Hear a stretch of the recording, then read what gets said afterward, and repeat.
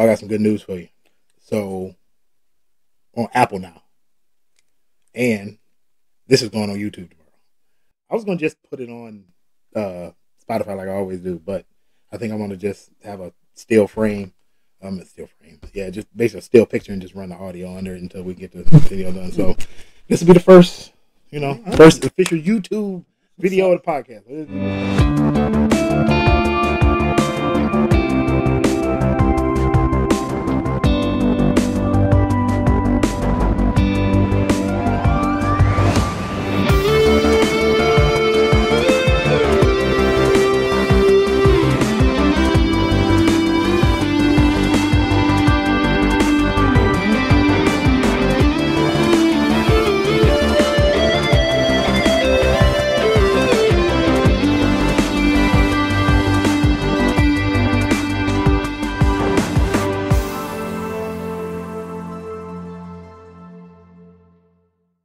All right, so let's get right into it. Um, so here we are talking about the Batman. I am not alone. Like I said, I was going to have my buddy Will come over, Wolfpack. Like, yeah, it's about it's about damn time. We took way too much time to get back together and do anything. Uh, at some point, we're gonna have to get all three of us back in here. I'm gonna have to drag drag Marcus out of the house and get his ass over here so we can do this the right way. All three of us getting together. But Get- either get- way, get him away from that do say. yeah, get oh Lord have mercy. I don't, I don't I don't know how y'all drink that shit. I I, I can't do it. I, I, I'm gonna stick to my whiskey and my moonshine. I'm stick to what stick to what I know. Stick to what I like. Anyway, but um, so glad to be so glad you're here. So glad we can talk about the Batman because this movie. Uh, you know me. I had my reservations from the time they announced it. Number one, it's another Batman movie, and I have always said we need to get away from doing Batman and Superman and Wonder Woman and Fla- and all them. Like we need to branch out. I had my reservations about Robert Pattinson. I was Yeah, like, oh God, Talking have about the mercy. outfit he had on. Uh, with that, I mean, before the outfit on the red carpet, I, before the outfit on the red carpet, and I've said this, I was like, okay, I waffled back and forth. I said, okay, this may be good, it might be good. I don't know. I'm gonna give it a shot. And then he had the outfit on the red carpet, and I was like, uh, His stylists need to be fired. yeah, his star need to be fired because he came out there in his daddy suit, headed to court for the first time. You know how that look goes. Um, but with that being said, I was wrong at the same time I was right. I was right that he played uh, the Bruce Wayne version of uh, of what Robert Pattinson was doing was not that good. But with that being said, like I said in the episode for Friday, his version of um, Bruce Wayne was the perfect version for this tone of a movie. This is a broken Bruce Wayne. This is a man who has nothing. He doesn't want any ties to the to the Wayne family. He only wants to be Batman. And as far as Robert Pat, uh, Robert Pattinson playing Batman and being in the suit, god damn, he was good. I got to give it up. I was so damn wrong about that. I'm gonna say something a little bit later about that, about the uh, the contrast between the Batman that he played and the version of Bruce Wayne that he played. I got something I want to say about that. A little Okay. later. Um, I was happy. By the time this movie is over, I was like, okay, this is not Michael Keaton. This is not Val Kilmer. This is not George Clooney. This isn't Christian Bale. Hell, this isn't even uh, Kevin Conroy from the animated version. Adam West. They, it's definitely not Adam West. This is a different version, a different tone of Batman slash Bruce Wayne, and he played both of them damn near perfectly. And I was so happy about that because, like I said, I had my reservations, but I said going into this before we went to see it, I said, look, if he plays just a horrible Bruce Wayne, even if the Batman is spot on, it's going to make me not like the movie because you need to have both of those characters down. But he actually pulled off both of those characters. He, the Bruce Wayne that he's playing, like I said, is broken. He, like he, he told Alfred point blank, I don't give a shit about, you know, I don't give a shit about my name. I don't give a shit about the Wayne legacy. None of that. I don't a shit even care if I die. yeah, I don't even care if I die. I don't even care about the company. None of that. Uh, this is what I'm doing. This is all I got. This is what I am. And if I'm not doing this, then the hell with it all. Then it's not working. Then it's not working. That was perfect. That was pitch perfect. That's why you don't see any. You don't see him as Bruce Wayne, but a handful of times in the movie. You know, at the funeral, when he's running home to check on Alfred after the bomb goes off. This, that, and the other. Um, All right, so I'm gonna I'm gonna put this in there now. Okay. I think this is the perfect time for me to say this.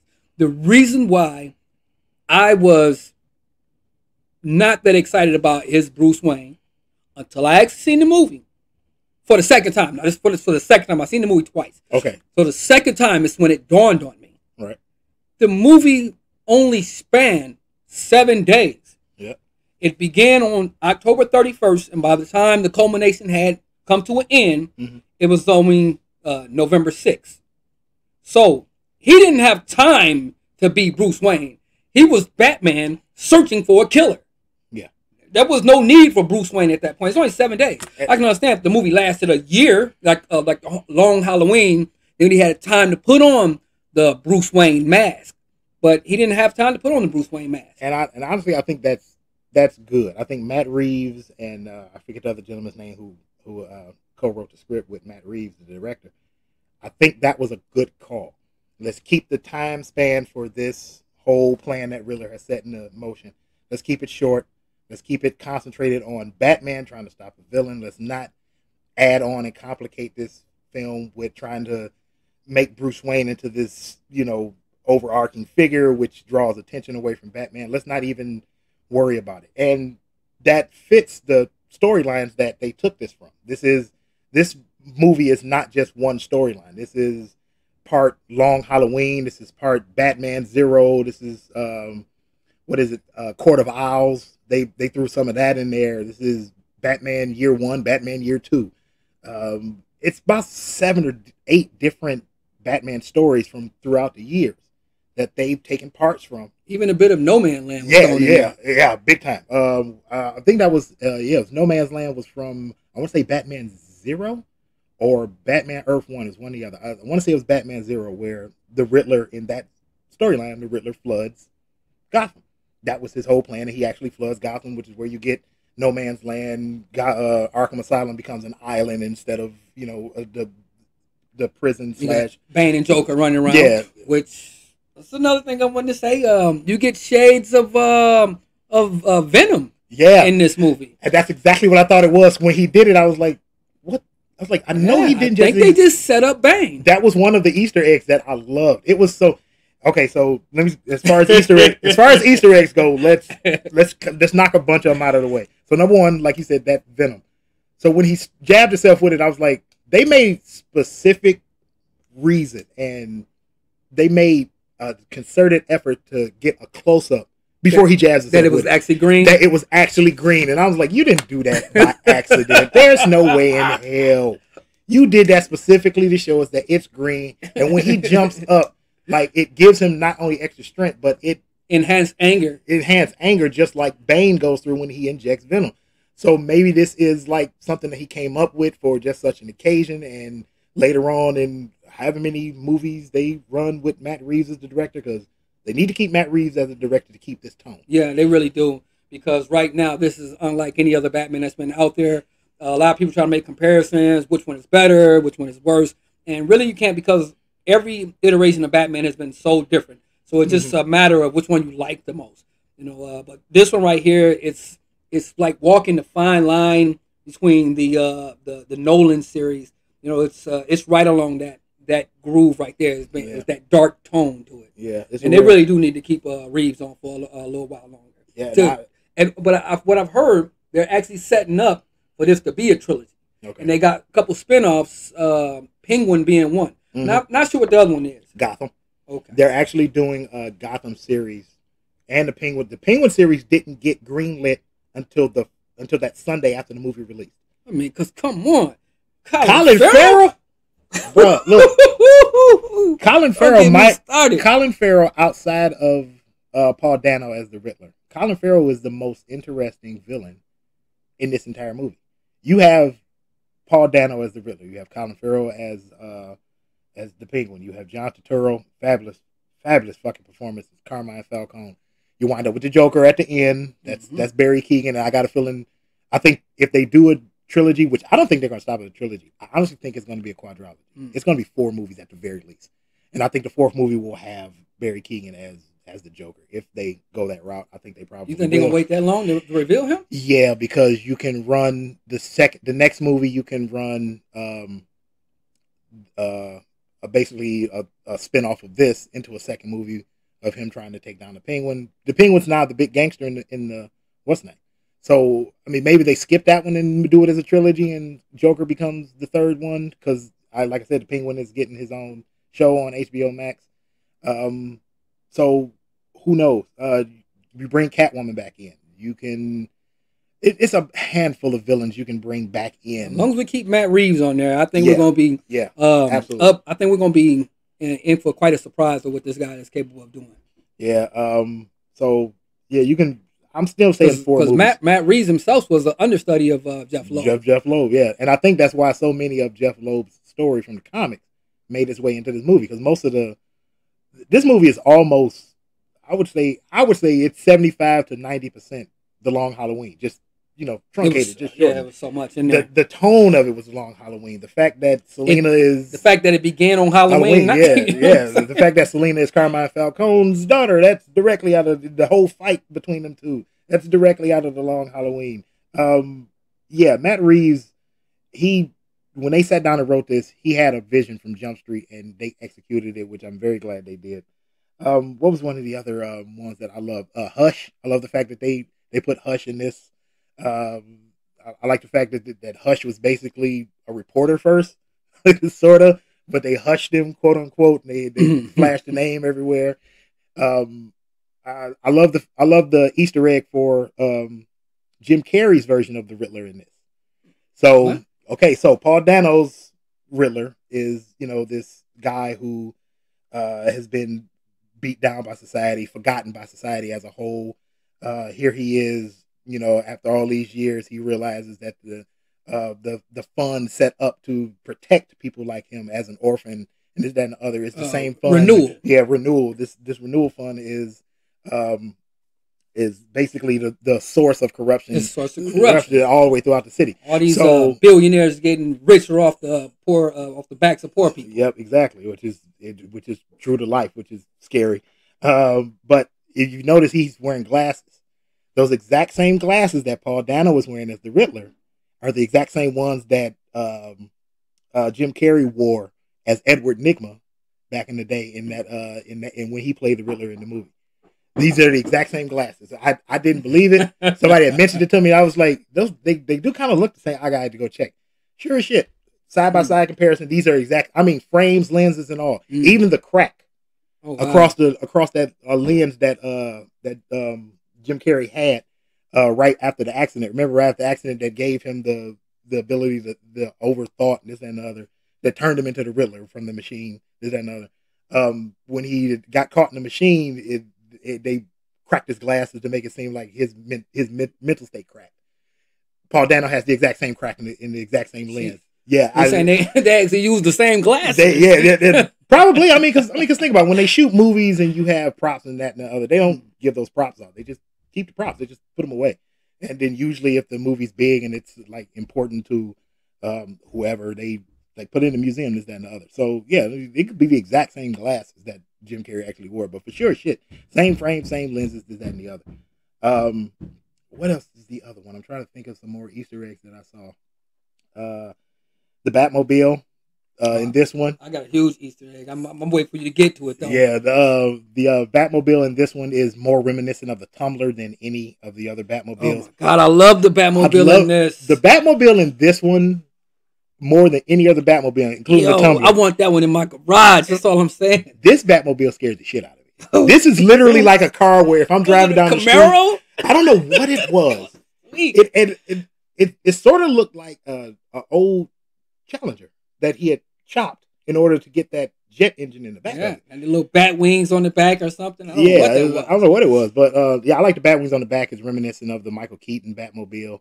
Um, I like the fact that it's a homemade car, right? Like he cobbled this together. he doesn't know much about mechanics and another. He, it's it's bulletproof if, if nothing else, but that's Yeah. pretty much it. Even when you see him, and because that wasn't that wasn't the quote unquote the Bat Cave. It was uh, I forgot what they called it. But It it, was, was like the- a, it was a, the some kind of Wayne- station. Yeah, it was the Wayne is the Wayne terminus Term- of a, yeah. of an abandoned subway station. Yeah, So here they're no longer in the manor. They're they're not in Wayne Manor. Wayne Manor, much like uh, the end of the Nolan series. So remember, at the end of the Nolan series, uh, Bruce Wayne is now supposedly dead. Um, they donated his house to become an orphanage, right? So in this movie, in the Batman, he- they're no longer living in Wayne Manor. It's already been. It's donated. already been donated as an orphanage Mhm. that has now been closed, Yes. right? Um, now it's completely gone. Uh, like I said, that's right out of comic book. A couple of those out of comic book. So now he's living in Wayne Tower in the penthouse, right? Which is at the center of the city, which is odd, but it is what it is. That that makes all the sense in the world if you think about it.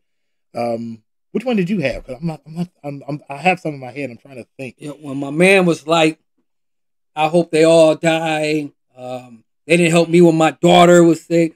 Uh, don't I know you from somewhere? Oh, Joe Chill. Oh my goodness. Joe! Chill. Yeah. When yo, so the first time I seen the movie, I didn't really peep that. I was like, okay, there's just some stranger in the crowd.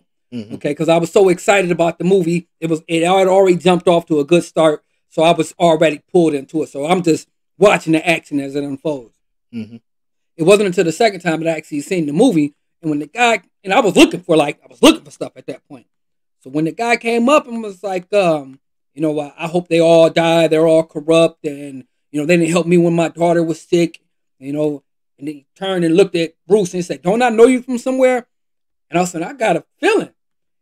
The next thing I know, Bruce is walking away, but he's looking at him, and then this guy just starts moving backwards toward the shadows until he's completely covered in shadow. I said, "That was Joe Chill." And I I didn't think about that until after you told me. So we went and saw it together the first time. I went and saw you went and saw it the Tuesday after. I went and saw it uh, the Wednesday after.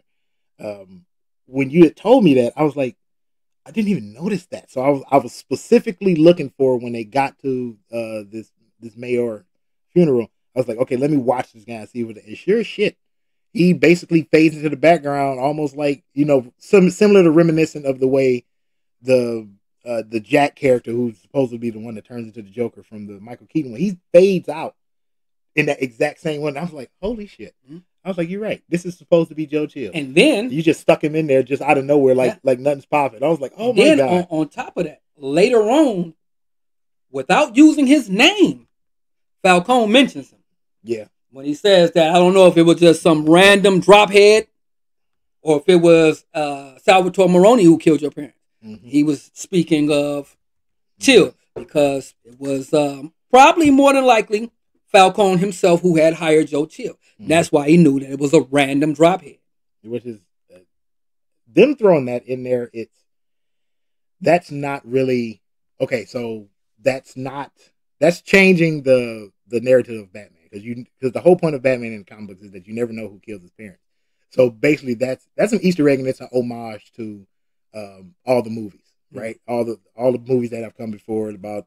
Uh, it might have been Joe Chill. Well, who the hell is Joe Chill? Joe Chill is just some random guy who winds up uh, killing Batman's, well, killing the Waynes and setting him on his way to becoming uh, Batman. I like the fact that they did that. It's it's it's a nice little nice little note to the fans.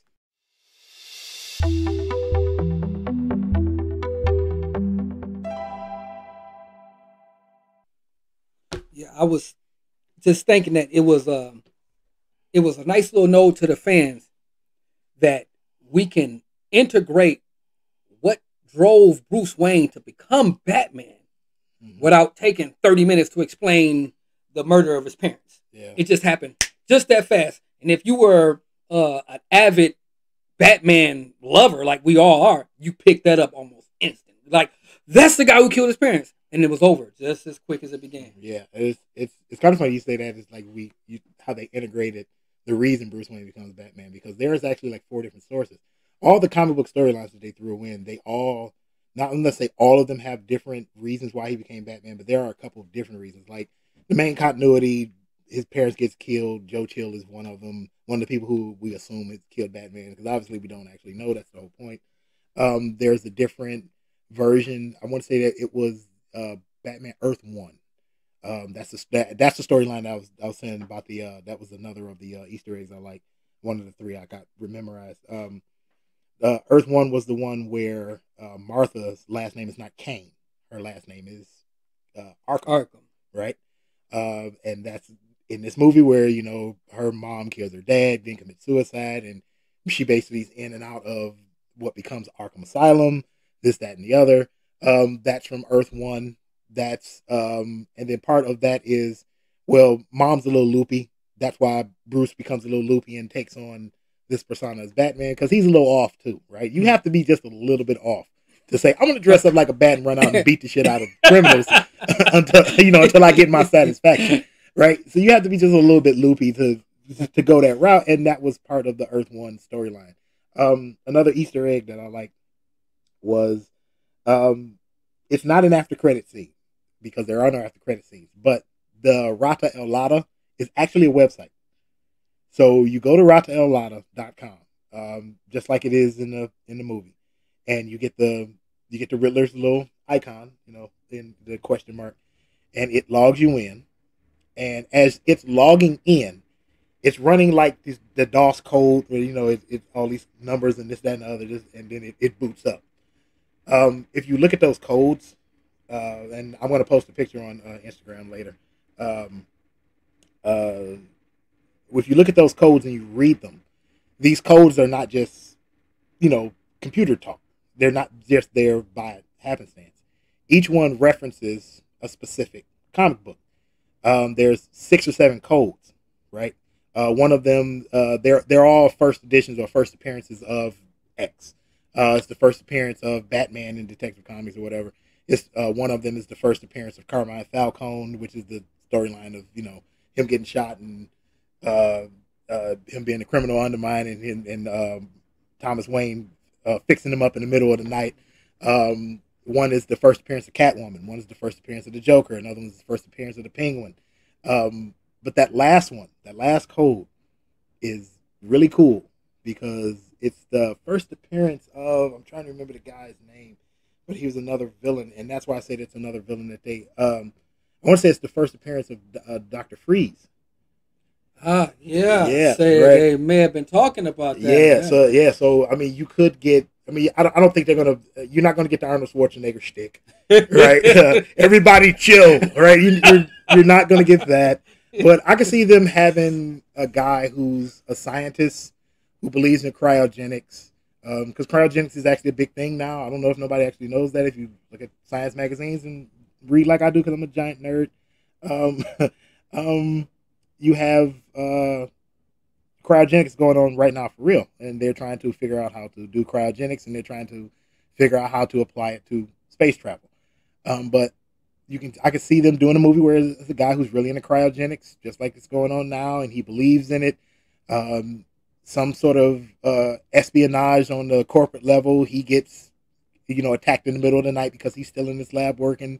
You throw the the, the stuff that he uses to help cryogenically freeze somebody.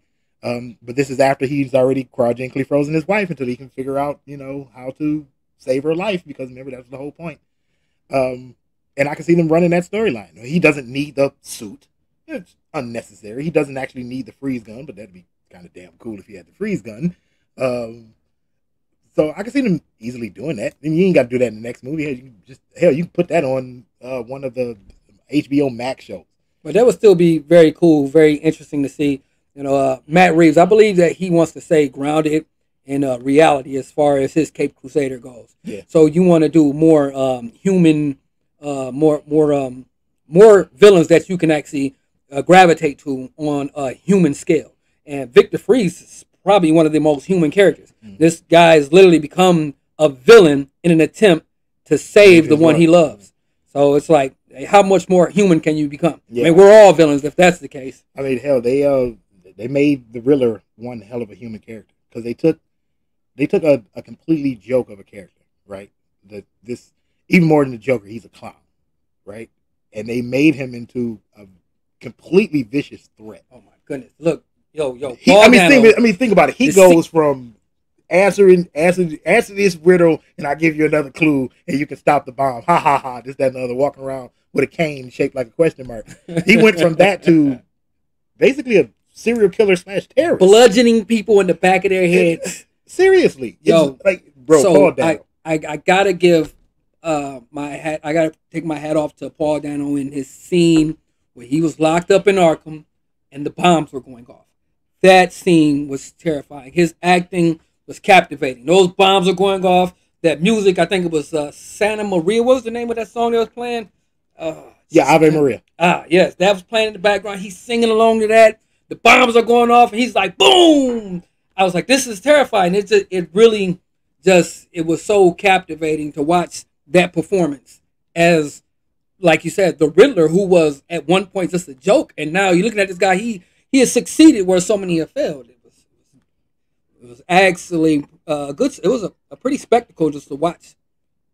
Yeah, really the, captivating. Yeah, the uh the also on that rep also on that website that Rata Alada when um and it gets done going through all those codes and booting up, it gives you this little thing that says um, loading ninety eight percent complete, and then right above it is this little link that says click for your prize.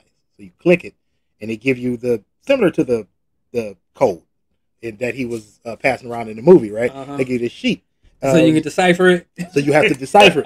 now you don't actually have, you know, the freaking thing to do it, but obviously this is we're in the age of internet nerds out there worldwide. Somebody gonna figure Somebody has figured it out. So the little thing it says, uh, "Fear he who hides behind one." Yeah, you search for the right answers, but you need to look deeper, and the answer is a mask. Obviously, you, you need a mask. Uh, then it, it moves on to the next one. Uh, it says that now you've achieved the highest score. Here's something you've never seen before. Then you click it again for the reward, and then that's the end of the game. Uh, but they give you a message right at the end of it that says Thomas Wayne lies. So I thought that was I thought that was pretty cool. Uh, that that's not an after credit scene. That's quote unquote the after credit website. Uh, and I thought that's pretty, different. Yeah, I thought. I mean, that, that's, that's the different. only other movie that, I can think of. that gives of, you something to take home with you. Yeah, the only other movie I think that I can remember where they used a website to interact with the movie and give you something extra on top of the movie was The Matrix, the original one. Hmm. They didn't do it with part two. They didn't do it with part three, and they definitely didn't do it with this this last one, right? But the very first one, they that website had a lot of things from the movie. You went to the Matrix website, and if you saw the movie, you plug them in, and it would give you like mini games, and they would show you different things and background and behind the scenes credits. This is the first time I've actually seen it do it. It's kind of cool. I, I, I really appreciate them actually doing that. Uh, I can't think of um. I think no, the other one was Hush, but we talked about it before. Maybe Hush is the next villain. Would you like? I, I personally, more than pretty much anybody else I know, if Hush is the next villain, for another Matt Reeves Batman movie. It would make sense. Here you have the Riddler, who's just a normal guy, right?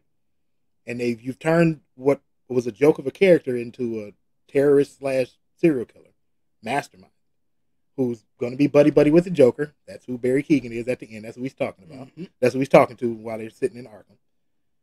What if the next villain is somebody in the same vein, which would be Hush? Why not? He's just as vicious as this version of the Riddler. He has pretty much, I wouldn't say the same motives, but similar motives for wanting to take out Batman and Bruce Wayne, this, that, and the other. Makes sense. This is another villain that we haven't actually seen used in. I'm not gonna say not at all because he's obviously been in the um, uh, animated version. Yeah, yeah but uh, but we haven't seen him in live action movies. This is another villain that they can that they can use instead like, of going to campy. I like to way. see Hush However, I think it's too early in his story. It's too early in the Batman story. If we're talking Batman year two, I think Hush needs to come out the shadows a little bit later after after Bruce Wayne has um, proven to be more successful. Okay. You know, as as as the Dark Knight, as he's actually, you know, what I'm saying, um, start to come into age as to who he is, his purpose. Because right now he is quote unquote vengeance, and he realizing that vengeance is not working. Gotham needs something else. Gotham needs a hero. Gotham needs hope. Now, see, once he becomes hope and he's successful being hope, then you want to send Hush in because Hush, unlike many other of the um, uh, Batman's rogues gallery, Hush actually knows who Bruce Wayne is. Yeah. So that is going to help tear him down. But let's first build up Bruce Wayne before we immediately start tearing him down. I like to see other characters in there. Now, the one character that's been constantly going through my head that I, well, there's actually two characters that I would love to see because I, I, really want to see the Court of Owls. I really want to see the Court of Owls. Now, see, here's the problem with doing the Court of Owls in a Matt Reeves movie. You can do the Court of Owls in a Matt Reeves movie, but that sort of steps on the toes of Gotham Knights, which they are doing the video game and they're doing a live action series for it. So, are you? I mean, you could do it. and you tie the series into the movie. That's Mhm. possible. We've seen Yeah. Marvel do it. It's yeah, not that hard. Video game. Yeah, if you got the video game, you got the live action series, Do you do a movie. You can tie all of them together. It's not that hard. If Marvel can do it, now that you have Matt Reeves, who obviously has an eye for this, you can do it. I don't want DC doing what Marvel does. I Mhm. want DC to do its own thing. Yeah, yeah. The best, the best DC has done thus far now is this movie and Aquaman, and then the first Wonder Woman. Right? You those I, of all the DC movies, those are my top three right now. Uh, not counting uh, the Watchmen, which I think is the best uh, comic book movie of all time, but that's a whole nother discussion. Um, Shazam didn't suck. Shazam didn't suck. I I like I like Shazam a lot. I I I've always had a problem with the Shazam character. I it's not that I hate him. I just always thought he was just out there too far fetched for me to believe. Even though I can believe in an alien with freezing breath and laser visions, but whatever, whatever, whatever. Oh, or Wonder Woman. Because I love Wonder Woman, but her origin changes like the wind. They have look. All right, side note. So we go we go we step back to Batman in a second. But side note, just because you brought that up, Wonder Woman has always had the worst, the worst, absolute worst, hands down, the worst origin story of anybody in the Justice League. Her Mm. entire island is nothing but warrior women. Nothing but worry. You know nothing of men. outcast by Zeus. Outcast by Zeus. The only thing you know of men is that they're all evil. They're all treacherous. You can't trust any of them. We're on this island because the world of men is constantly at war, constantly trying to kill each other, and we don't want no part of it. Let them kill each other. We live here in peace. We live here in prosperity. And the only reason we train as warriors is because if they ever come to our doorstep, we're gonna give them what for, right? Okay. First man you meet, Here comes bye mom. Here comes Really? And this is the woman, that, and this is the woman they keep talking about. Oh, she's a feminist icon. No, no, she's not. She's no. She's the worst feminist. If she is, she's the worst feminist icon I've ever met in my life. Your first instinct is to the hell with with- mom. I'm leaving with the guy. That is not a good origin. You could have come up with you could come up with nothing better. I understand that this was golden age Yeah. comics when she was introduced, and this was like, okay, that makes sense. It's 2022. Y'all better come up with something better. You've retconned pretty much every comic book character out there, Marvel, DC, this, that, and the otherwise. Everybody's been retconned. You need to be retconning her quickly. Come up with a better origin. Now we go back to Batman. Sorry about that side note, folks. Um, oh, what, what were we talking about? well, listen. Let's talk about Colin Farrell. Okay, so Let's talk about Colin Farrell. So, uh, we both seen the movie twice. Yeah. Okay. So the first time out, again, I wasn't looking for much. I was just enjoying the movie. I was enjoying the camaraderie, the friendship. We were just out having a good time. Had our wives out. It was, it was great. It was a great evening. I was just there because my expectations for Robert Pattinson as Batman was so low that I was just like, I'm gonna go in with no expectations at all. That way, I'm guaranteed to like the movie. yeah, But by the time the movie, but when you first see Batman, when he step out the shadows, in the subway. Yo, my expectations shot there through the roof. I was like, this is amazing. But Now, now, quick side. I didn't mean to cut you off, but quick to that. That subway scene, which is nothing but these dudes about to beat the shit out of this Asian dude. Stop Asian hate America, right? Um, which oddly enough, that's another Easter egg. The the the kid that he scared straight at the end Uh-huh. is the same dude that played Tim Drake on the Yeah, on on the, the- on the series. show. Yeah. Yeah. on the show. Uh, Yeah. I thought that was kind of cool. Um, but they're about to beat this guy up, and all you get introducing Batman is not him swooping down and being flashy, this, that, and the other, right? All you get is this loud thumping, boom, doom, footsteps. it's not even the footstep. It's the, the music in the background. Is that that that music and it's it's getting louder. It's like they're playing the same refrain. They play like five or six notes, then go back to it and play a little louder. Go back to the beginning and play a little louder. And it's like they're telling you we're ramping up. It's some shit about to jump off. And all you get on top of that is them footsteps, them damn boots, right? Every single time you see Robert Pattinson really, really about to get into it, like right after the penguin flipped his car and he's walking up to him when, before he leans in and looks at him, he all you get is them footsteps and those boots. And you do you notice that every time he steps down with those boots, they ching like the old old uh, western movies with the spurs, like the the sheriff has Yeah. come to town, Yeah. like the big sheriff is the really only one. did that And then you, you you get that sound that like ching, it was it was ching. terrifying. And I, Batman that, was terrifying. and that was and I appreciated that so much because that is that is a attention to detail honestly that no other Batman movie has ever done. You've always gotten Batman coming out of the shadows, beating the shit out of the villain, jumping back into the shadows. Right? He met his man. He met his match with Bane because you know you merely adopted the dog. That shit. But this one, he's like, yeah, it's like I use fear because fear is a good tool, which is an homage to all the shit that Nolan did. That's where he that's what he learned from, you know, the League of Shadows. Um which is oddly enough, I just thought about it. That's that line is I I I use fear because fear is a fear in the dark is a good tool. That's a good Easter egg to throw back because this movie, uh, I'll get that in a second. Um, but that I love that fact that that those footsteps is all you get. All you get is his feet. All you all you see is his feet stomping on the ground, and the dudes that's the, these they're all dressed They're- up like the Joker. and- They're and they're basically all- the Joker gang from from uh from the Justice League uh, uh, run of cartoons. Dwayne McDuffie wrote those. Um, he that's all you get, and then you see them all like backing up, like oh shit, he's here. Like you all saw looked up and saw the symbol right in the sky that Gordon cuts on every so often. Yeah, just Because what, what, what did he say? He said, "I can't be everywhere, everywhere at once. at but, once, but you don't know but you where don't know where I yeah, they don't know where I'm gonna be. So he like yeah, and that's when he goes into the it, it's a fear thing, and I use fear. I use he's like fear is in the darkness. They think I'm in the dark, but you know, fear and darkness are, are good tools against against the uninitiated. Again, that goes to Bane.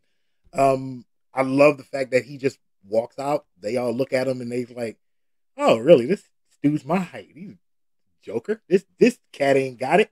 Hmm. And what he do? He bludgeons that first dude down and then just eyeballs everybody and says, "I am vengeance." And everybody's like, "Oh, I've been waiting to say this about this movie. I've been waiting to say this. I'm gonna say it now. What separates this Batman movie I think we're I think we're thinking the same thing." Go ahead. from all the other movies is the level of combat that was thrown into this movie. Most of the Batman movies, it's a one punch and a kick, and then the villain goes down. There's no real hand to hand martial arts. And I'm a big fan of martial arts. You know me. hmm I've studied for years boxing, the um, all all these physical techniques. When I seen this in this movie, when he got that Joker from the beginning and just wrecked him, and then looked up and said, "I am vengeance," I almost jumped out my seat. I was like, "This is the Batman that we deserve." This is this version of Batman is the version that first debuted in comics. Period. The first. Okay, so if nobody knows, and if you don't know, the first run of Batman comics, Batman killed people. He hmm. did it with his own hands. Oh, whoa, whoa, whoa. Oh, Batman killed people. oh yeah, because that dude at the end, he woo, Yeah. he So- suffered. Yeah, Batman killed people in the first outing of Batman in the in the comic books. Batman wasn't he didn't use guns. Beat you to death. He beat you to death. The first the whole the whole the whole the whole mythology of the Joker is the first time he's introduced in comics, Batman was meant to kill him. Oh, that's why I threw him into the back. Yeah, he was meant to kill him. The Joker was never meant to be this long-standing villain. But they got such a blowback because you know he's coming right after Superman, so he's just the same comic book company. It's like, how can you have this dude just be outright brutal like this when Superman is so virtuous Yeah, and so at some point you're gonna have to make Superman take him down. yeah, so they was like, okay, so we won't have him kill anybody else. It'll just be part of his code where he doesn't kill because you know that happened to him, and he doesn't want to be like them. So I don't kill. I'll find another way, and that became the Batman mythology. But his first his first runs out, he would smoke a dude. He, he wasn't about that. I think one of the, I want to say I can't remember if what issue it was, but one of the comics he drowns a guy. He chases a guy down, um, and he drowns the guy not in water, but in a pit of solidifying concrete. Mm. He literally stands on the guy's back while the guy can't get up. So the guy can't get up, and he's face down in this this freshly poured concrete slab, and the dude drowns the concrete. Until he can't move anymore. He can't move anymore, and it's like, and then he just leaves him. It just dips.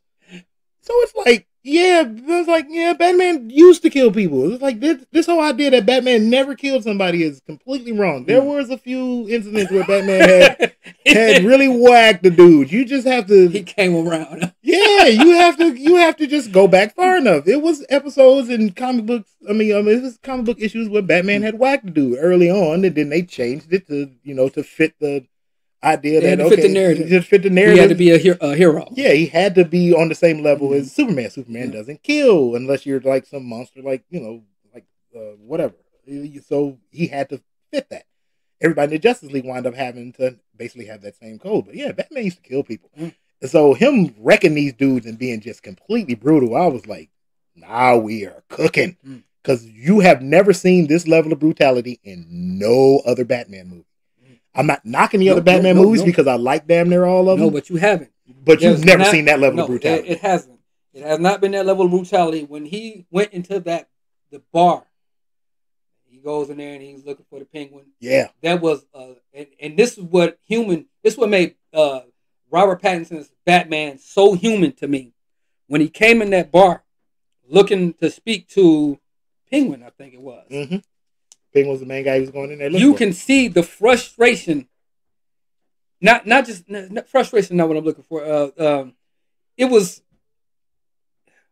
It was there was a level of I don't know. Was- I want to say frustration, but at the same time, he went into that bar, and he was panicked, like he was looking around like a like a wild animal. He was looking for the penguin, but he didn't know where to find him. That's why he knocked and said, "Hey, take me to him." They didn't. He bars in, not knowing where the penguin is, and then he gets attacked by ten plus men, and he's got to battle them all. That there's got to be a realization in his head that he's probably going to fight all night long, and the way as human as he was, he was probably going to lose that fight Mhm. because I mean they really humanized his fighting skills, which was was to get me back to the villain that I want to see if they do another one. But there was a a, a, a level of uh, not not just determination, but this guy when he goes into that club and he's fighting those guys with all the the brutality and the force that he could muster, he was laying those guys down Mhm. and then out of nowhere here comes penguin and the fight stops and you just you see like the he just it was like a, a sigh of relief came across him like i don't have to fight anymore Yeah. you know because he was really getting wrecked in there Now, that's another thing I pre- appreciate before we go back to uh, Colin Farrell as the Penguin. That's another thing I appreciate about Robert Pattinson as Batman. Most Batman characters don't get hurt, right? this guy was getting wrecked He was get he got more wrecked in this than all three movies from Nolan combined combined. Christian Bale did not take the. Okay, I get you. Christian Bale got gassed by Scarecrow. He got his back broken by Bane. He got, you know, stabbed a couple times. He got beat up a couple times. True indeed. If you add all that together, it does not amount to the amount of wreck that Robert Pattinson took in this No. one film. This dude took a shotgun Yo. blast to the chest that laid him down. so check it out right Be glad that Batman suit is so bulletproof. check it out right one of the things that i noticed and i don't know if you picked this up but his his cowl the mask that he wears at the end of the movie there's a crack in it Mhm. right above his eye. I'm like this dude was getting wrecked He was getting pounded, bro. Oh, look the the the end the end fight sequence when he's on top of what what is basically the the, the jumbotron in the middle of the stadium, and there he's basically going around this square or ring, whatever the hell, above everybody else, and he's fighting off these snipers, all these dudes that are, and he for every dude that he beats, he takes two or three shots. Yeah. He, get, he either gets shot Back by a head. small hand, he gets cracked, right? He gets punched, Punched. he gets kicked, he takes the shotgun blast. Somebody hits him over the head with the with the butt of the gun. By the time it's done, and somebody up there finally gets, you know, he finally like passes out from taking his ass whooping, and then somebody grabs Mhm. Selina who comes in and helps him at the uh, toward the end.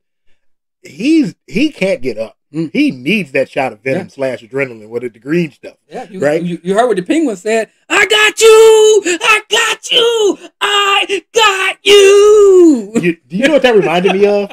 I kid you not. Okay, uh, here's a here's why I'm I'm just the world's total nerd. I I'm I got to be the number one. If I'm not number one nerd, I'm I'm at least number. I'm in the top five.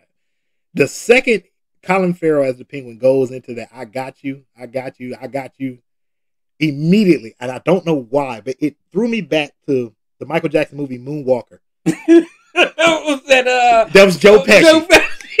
Joe, tell me, and you, and now, now, now that I've called it out, tell me that I'm lying. He sounded like it sounded like he was channeling that Joe Pesci when he think my, you know the, the big giant robot Michael Jackson had been shot and he done knocked him off, you know, knocked him down. He's like, I got you, I got you. It sounded just like him. I was like, he could have been channeling that. I, I, dude, Oh, I, I was like, he's channeling Joe Pesci, and I was like, I gotta be the only asshole in here who's thinking this, but okay, I'll, I'll be the only person thinking, but that's exactly who it sounded like to me.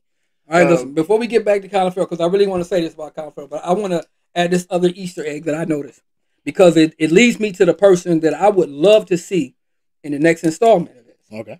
In the beginning of the movie, when you see the mayor, when the the, the Riddler's watching from the other building with the binoculars Mhm. into the the mayor's house, the mayor's son is dressed up like a ninja. It's the League of Assassins, Yeah, but see, then that's Ra's al Ghul. right? Which is also Lady Shiva. Shiva. I would love to see Lady Shiva in the next installment. But see, here's the problem with that. That kind of toe, that kind of tiptoes too far to the line of keeping the characters humanly grounded. Because Ra's al Ghul is what a hundred some odd or 200, 300,000 years or whatever That's true. because of the because of the pit of resurrection. So if that's the case, you kind of have to have another. You kind of have to roll like Liam. You have got to roll Liam Neeson out there again. Like, not exactly get Oh, Liam Neeson. I, I hated really Neeson as Ra's al because he, he played uh Henry Ducard at the same time, and I just uh, Henry Ducard and Liam uh, and uh, Ra's al Ghul not the same person. Yeah, they're not. You know, and, and that always bothered me about that. I mean, I understand how every director or writer is going to change things to fit their own narr- narrative, but when you come to like comic book fans like myself, like you, we just we know things. You know, when, when certain things are changed, it kind of irks us a little bit. Yeah, And even though it was still a good movie, it was a damn good movie. I, I loved it. I, I watched that entire movie. I watched Batman Begins in slow motion, the entire movie. I did. okay. I watched the entire movie in slow motion. I love the movie, but you know there was just certain things about it that I, I couldn't get with.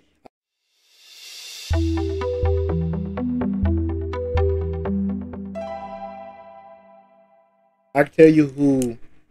I, I can give you another theory of who could be the next villain, and then we'll get back to Colin Farrell. Deathstroke, No, even though Henry Mangia, Mangianella, yeah, Mangianella, Joe, he- Joe yeah, yeah, he to said he's already confirmed that he's coming back as Deathstroke Okay. at some point. Yeah, but So you know you what they're could. gonna they're gonna bring him into the see because this Batman, this uh Matt Reeves version of Batman is not the the DCEU. It's it's not that. Yeah, this is not. this is standalone. Yep. So if Joe Manganiello is gonna come back, he's coming back to the DCEU, which is going to be the um because Michael Keaton is already confirmed for being on the set of uh Batgirl. Yeah. So even even Batgirl, which I was thinking because uh, what's what's her name? Uh, Grace, the the chick that's playing Batgirl. Uh, can't think of her name right Yeah. now. Uh, but her her heritage, so she's Latino. Yeah. Okay, so I'm thinking with the with the what's my man name? Wright. Um, Jeffrey Wright. Jeffrey Wright. I'm thinking she could play as Jeffrey Wright's daughter ish because Barbara Gordon yeah, that would have worked until I found out that this is this Batman is not part of the DCEU. This, this has nothing to do with that. So that kind of threw me off for you know, hoping that uh, Joe Manganiello would come back as playing Deathstroke. So we would actually need an entire.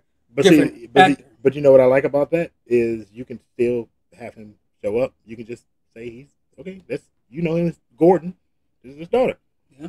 just roll with it. It's still But interesting. It's something like I said before. The best DC movies are the standalone ones that don't connect to each Don't other. connect to each other. Not like the Marvel universe, and everything's connected. and that's fine because it's like okay if i want an interconnected story i watch marvel if i just want standalone and i just want to see these guys and then eventually you can do a movie with them together it whatever if you want to Mm-hmm. or DC Yeah, i don't I same just- kind of copycat. Uh, you know, just do yeah, your there's, own thing. yeah, there's no reason for them to have to do the exact same Just do- thing. do your own Yeah, thing. do your own thing, and know, it, and it works out. That's what you're gonna. Now, uh, going back to the guy who I could see as the uh, next villain, who could be the next villain.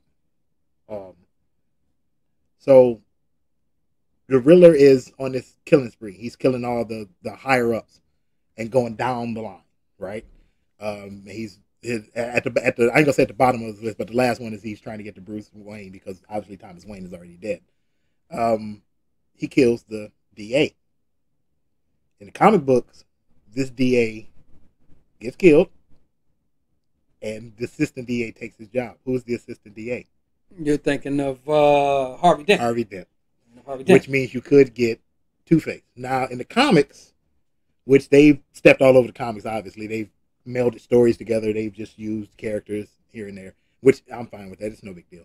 In the comics, Harvey gets the scar from uh, Boss Maroni throwing acid in his face during the trial. So you obviously can't have the comic book completely comic book accurate because Maroni's already dead inside this universe. He's Carmine Falcone took over after Maroni, you know, gets arrested and killed this, that, and the other. But who's to say that you just can't have one of the Penguin's guys on trial, right? And he's going after the Penguin, who is now the big crime guy now that Falcone is dead. Now Penguin is taking over everything. He's the biggest guy in Gotham that you now you're trying to take down. Here comes the assistant DA. Just leave him as assistant DA. He doesn't have to be promoted to the head DA just yet. Just like Gordon is not the commissioner yet. He's Lieutenant Gordon. He's in the middle of the precinct. Um, you just have him, one of the one of Penguin's guys, get caught, and it looks like he's going to snitch, right? So, in, in open court, you have somebody try to assassinate this guy on the stand that's about to snitch, and they're going to throw either throw acid on him or shoot him, but Dent jumps in front of him to try to save his witness. He gets that's how he gets scarred, right? Maybe it's a guy jump up with a shotgun, goes to shoot the guy on the stand, and Harvey eats it in half of his face people in real life live from that, mm-hmm. Right? Yeah, but it leaves them horribly scarred. Uh, leaves them horribly scarred. So you could you could possibly see Harvey Dent slash Two Face be the next villain because then it becomes here I am throwing my everything at doing it. It's basically doing exactly what they did in the Nolan series, right? Do the exact same thing, but you stretch it out. It could probably be another three hour movie, but you stretch it out, and you have you know, you have you see Harvey as the assistant DA become Two Face like in the first and second act, and then the last two acts is him taking out people left and right, and Batman has to go stop this guy who he thought was on his side. And by the end of that movie, you also have uh, uh, Lieutenant Gordon become Commissioner Gordon. He gets finally gets appointed. You're basically just doing the Nolan movie, but you're doing it dark. You know, I don't want to use darker tone. I'll, I'll use gritty. I hate using. I hate That's saying the gritty, movie is darker. Yeah. Uh, a more you get a more grittier version. So who, who, who do you think goes in as a, a secondary villain? If you're going to have uh, Two Face come around as the villain in the later half of the movie, who's the the first villain? Penguin. You roll him right out of the series, right back into the movie, and you have him be the main villain.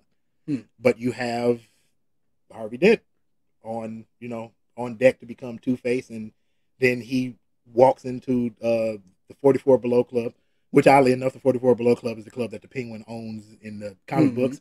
Um, which was also in the movie. Yeah, which is also in the movie. Which oddly enough, it's also underground, so 44 Below and, and it's underground. Mm-hmm. That's kind of a, that's kind of a neat little thing. Um, and you know that that whole scene.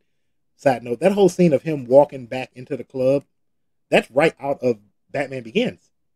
Because remember in the, in the, in the first movie, Christian Bale walks into the club and, he, and you know and he's talking to Maroni, who's sitting at the table and he was like, "I'm not afraid of you." And then the guy he pulls the gun out and he's like, "He's like, he's like, you see this?"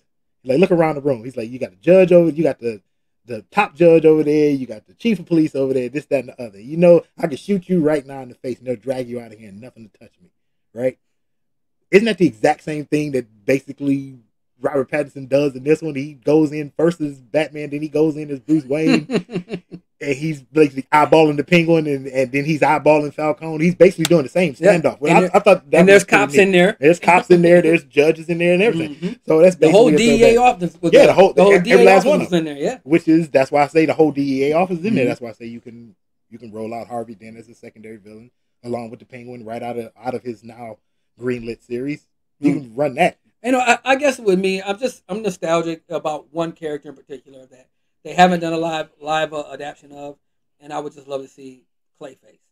I would love to see uh what's uh, uh Karlo, right? That's the name. Uh, um, what was his name when he? What was his name? It was oh god, I can't remember the name of the guy who was supposed to be. Are, okay, so are we going to do? Because there's two different Clayfaces, if I'm not mistaken.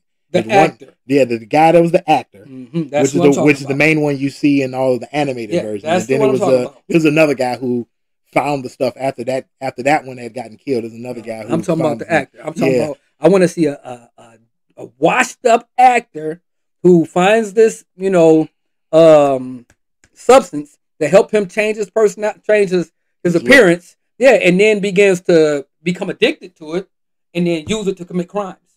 You know, not only just get himself back established as a great movie star, but then he starts to commit crimes, and then that gets that puts the great the world's greatest detective on his case. I would love to see that. I mean, I might be it might be a long shot. I don't. I mean, I mean, don't get me wrong. I love Clayface as a character, but again, it's something me and you both agreed on.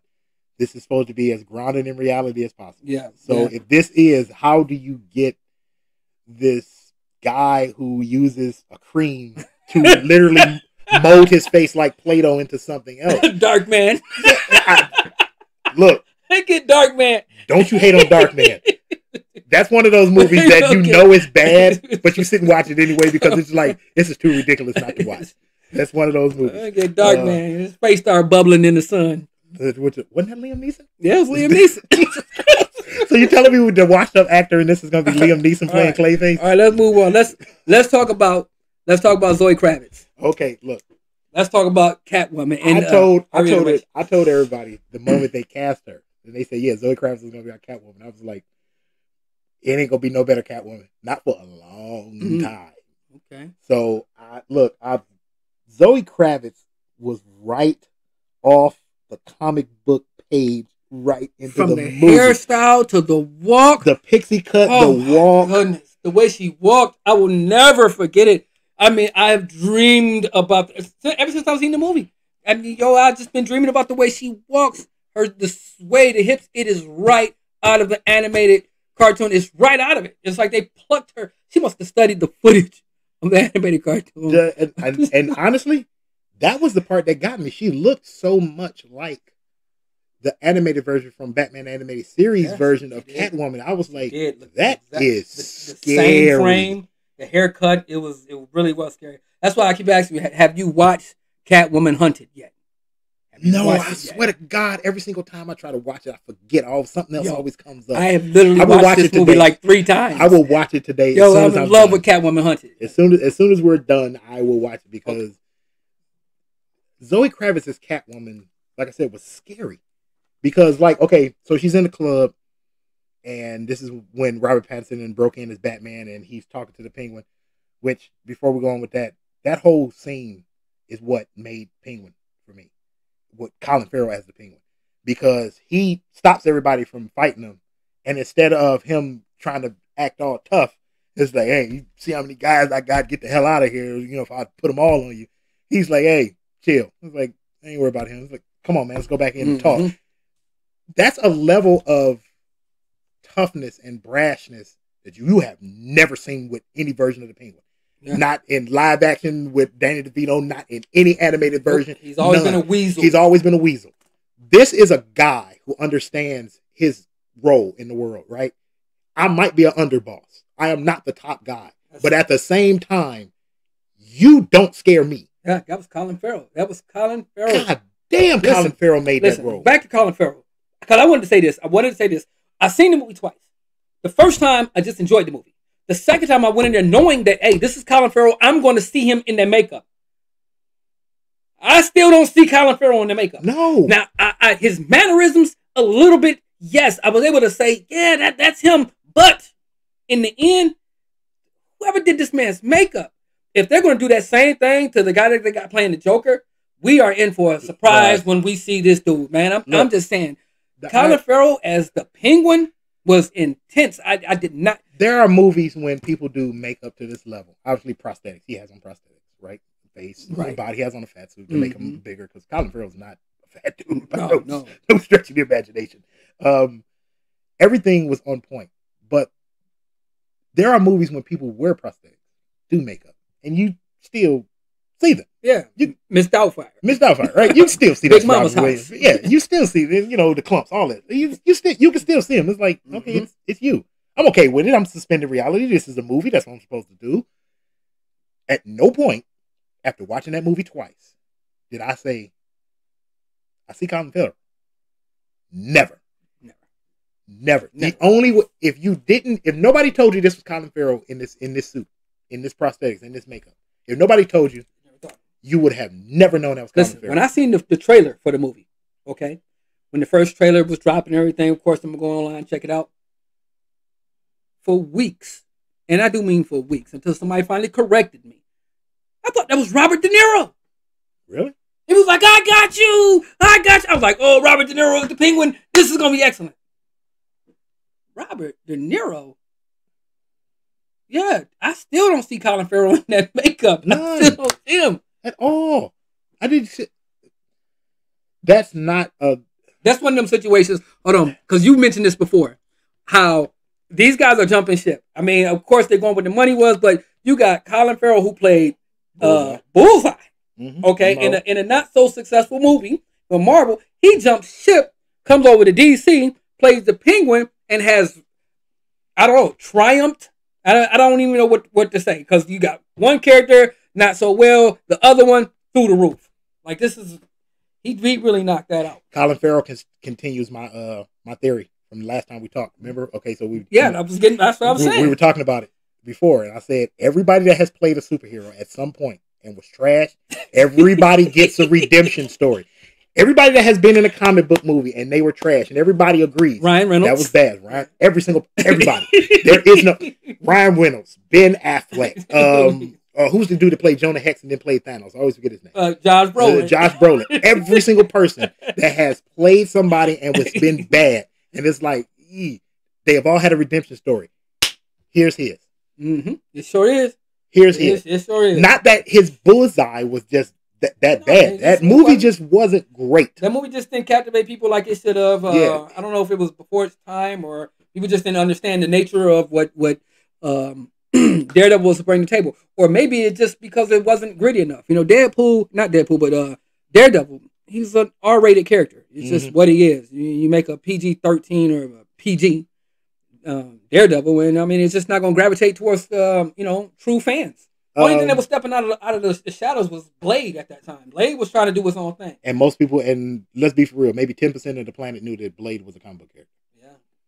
I did, and and now that we have my oh God have mercy, I can't wait for Midnight Suns because I know they're going to do it. It's in my blood. If they do a Midnight, they're going to do a Midnight Suns movie. I would rather for them to do a Midnight Suns series on Disney Plus. It would be better. But they're going to do a Midnight Suns movie. They need to do a series because they need to get people more uh, introduced to the characters, you know, and how they uh, gel together like they would like they did with the Defenders. Yeah.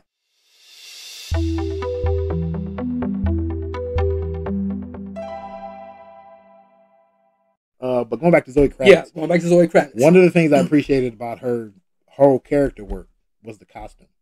Hmm. So every Catwoman version, period, always had the same cat suit, right? I think Anne Hathaway's was I'm not gonna say the most accurate, but I think hers was the most functionally correct, right? Her cat ears was the mask when she pulled it up, and when she put it back down, it was just a mask, right? It was it wasn't that she was trying to make herself look like a cat, even though she called herself Catwoman.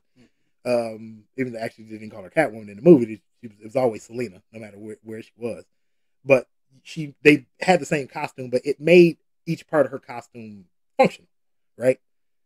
Until they get to this, every part of her costume is functional. The problem with Anne Hathaway's character, uh, her character's outfit is the is the one thing that they corrected with Zoe Kravitz.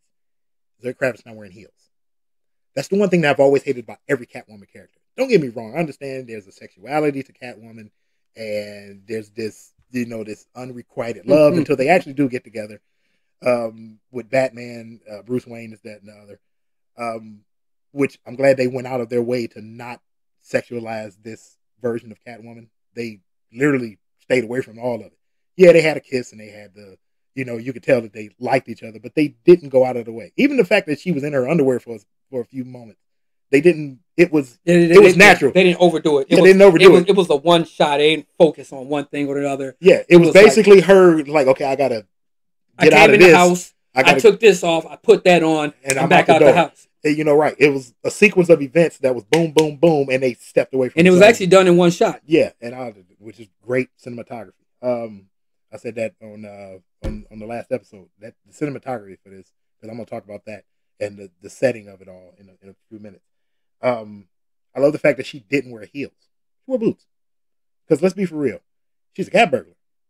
Where the hell is a Catwoman actually going in heels? You're wearing heels as Catwoman if it's a Halloween costume, right? right. She's wearing boots, and I'm like, thank you. She's wearing boots. Yeah, because she kicked the crap out one dude. She gave him she she gave him that that Ken and Ryu roundhouse Yeah. kick. and then moved on without looking back at him. Oh, That little that little that little when she's um robbing the safe when she goes to try to find uh Anika, her friend, and she's and um uh Batman comes in behind her and says something to her and she spins and she goes to like punching and she does that roundhouse double kick and I'm like, whoa, right? Yeah. She moves like a fucking the, cat. the, the fighting was excellent in this. I, I said it before. I'll say it again. I love the fact that her I love the fact that her mask in this is not like it's a it's not a cat mask. I don't know what was going on with her, mask. I I- thought it was some I like panties on her head. but see, I, but see, here's the thing. I like it. I like the fact that you could tell it was a ski mask that she had to cut because it was much too big. yeah, yeah. so all it was was just enough to cover her so you can't tell the who top she of the ski mask. Yeah, I was Yeah. wondering what it was. I, And- I thought she had some you- panties on her head. yeah, and if you're really looking at the looking at it, it's like her hair where she has it parted and clipped. They stick up, that was the cat. and that was the cat ears. I, I was like, okay, like okay, I, I dig that. You, that's a little thing. I like little stuff like that where they Mhm. don't, you know, you don't overdo it. You just say here it is, and we're not gonna, you know, go crazy about it. I love the fact that, yeah, I'm out to steal money. Look, But- I'll say it like this. I loved Zoe Kravitz, Selina Kyle. Yeah, Her Selina Kyle was awesome. Her Catwoman was was good too, but I still gotta give it to Michelle Pfeiffer, Catwoman. is Catwoman Michelle's the best one? You think? Her her Catwoman was great. Her Selina Kyle, not so much. Because Zoe Kravitz had the, the personality. She just fits Selina Kyle. She fit the cat burglar MO. Michelle Pfeiffer, her I don't know, her sexism. She was just she was great. She was graceful. I mean, it was just something about her that just really made me just believe that Catwoman really existed in the Batman universe. This Zoe Kravitz, she was a good, you know, um, um, addition to Robert Pattinson's Batman as Selina Kyle. I seen her, I believe her as Selina Kyle. I would like to see her do more as Catwoman. But she really do, she didn't do too much as Catwoman in this. I like the fact that they they barely ever refer to Robert Pattinson as Batman, and they barely refer to uh, Zoe Kravitz as Catwoman. I don't think always- they referred to her as Catwoman at all, did they? that once. He called. He called. It he was like. He's like. It's kind of. He's, it's kind of weird for a, uh, for a cat burglar to be dressed as a cat. And she He did. She, alluded to she said the cat in the back. Bat, Yeah. I remember that. that Yeah. It's it, it's almost no, at no point in the movie did they did regular people outside of the Riddler refer to him directly as Batman. Everybody Mhm. called him Vengeance. Even the Penguin when he's busting the tech at him coming around the car. You know, and everybody else they called him Vengeance. Even he Mhm. calls himself Vengeance at the beginning when he beats the shit out of the dudes in the subway. And that, that that's actually an ode to um the uh, Batman animated series when Yeah. he says, "I I am vengeance." yeah, when he am goes after when he goes that yeah when he goes after the I Penguin. am Batman. Now that now that goes now that right there is a good segue into what I want to talk about next. Um, the set, the cinematography, all that together. Every single part of cinematography and set pieces is a throwback to every Batman movie and every every episode of Batman animated series. This is not a comic book movie. I said this in the in the episode uh, when I gave my initial thoughts. This is not a comic book movie. This is a crime noir this is a dark crime noir drama, and they're using Batman as the vehicle to tell this story. If this was not Batman and this was just a dude playing a detective, right? This would be a damn good detective Mhm. It would. right?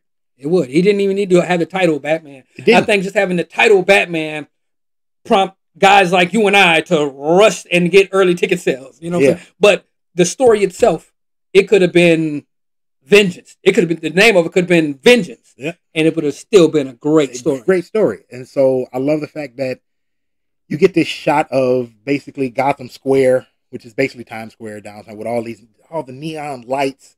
It's lit up, but it still looks so damn dark, so damn dirty, like the city is cursed.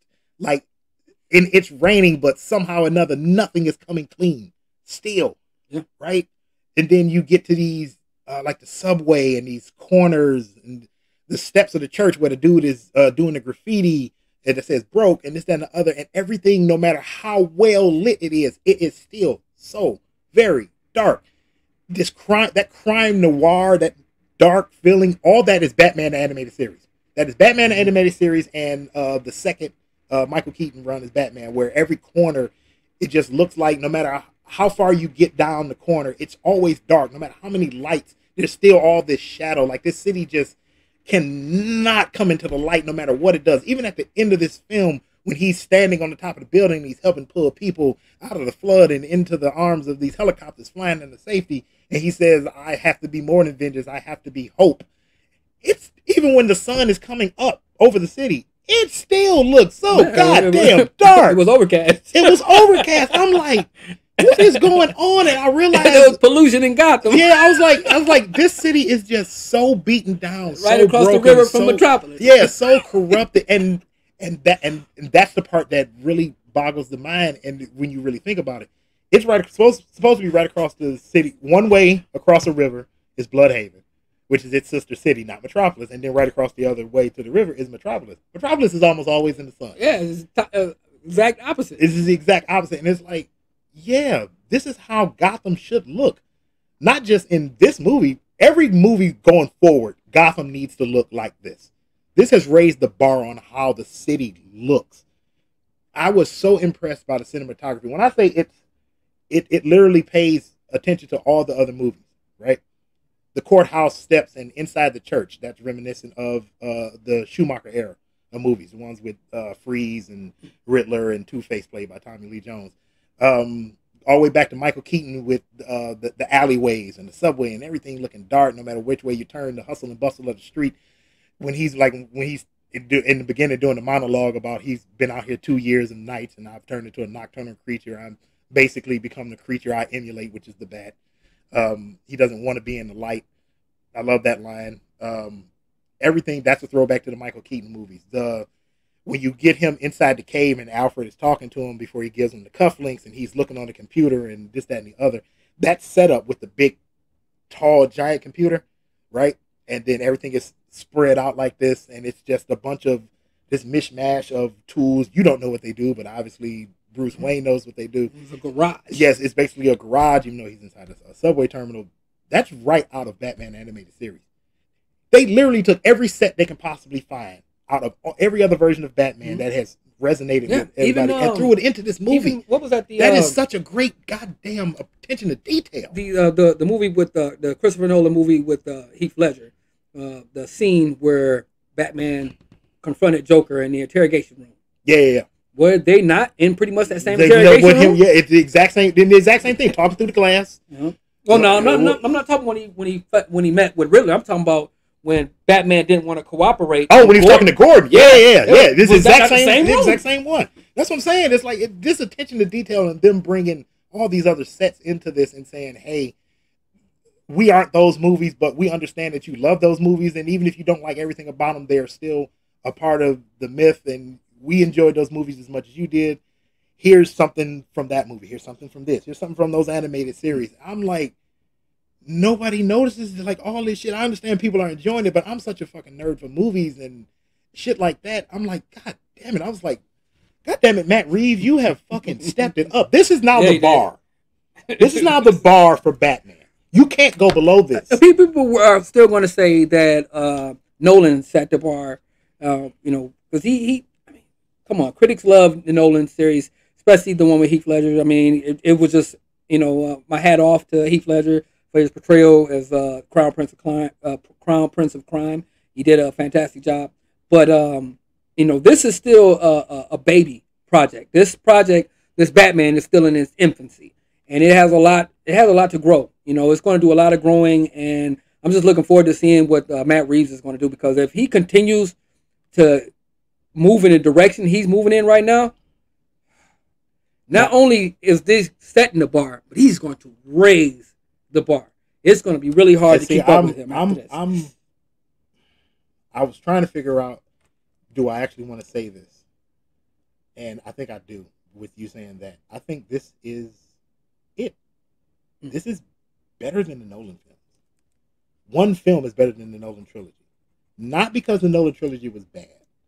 But there is just a level of intensity, a level of attention to detail that has never been seen in any iteration of Batman outside of Batman animated series.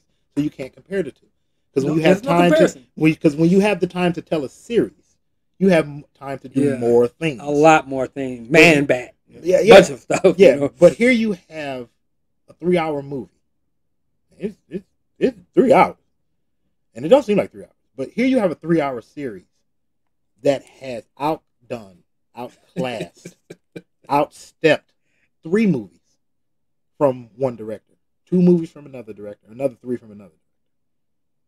God damn! Look, I laugh because Pattinson went from playing a Batman to the Batman. right? he played a Batman to the Batman. I'm like, like, Look, Christ I- Almighty! I look, I, I want to say that this movie was, you know, um, set the bar. I would like to say that because as far as like the action, you know, uh, the the the, the scenes, everything in this the the, the Batmobile. ah.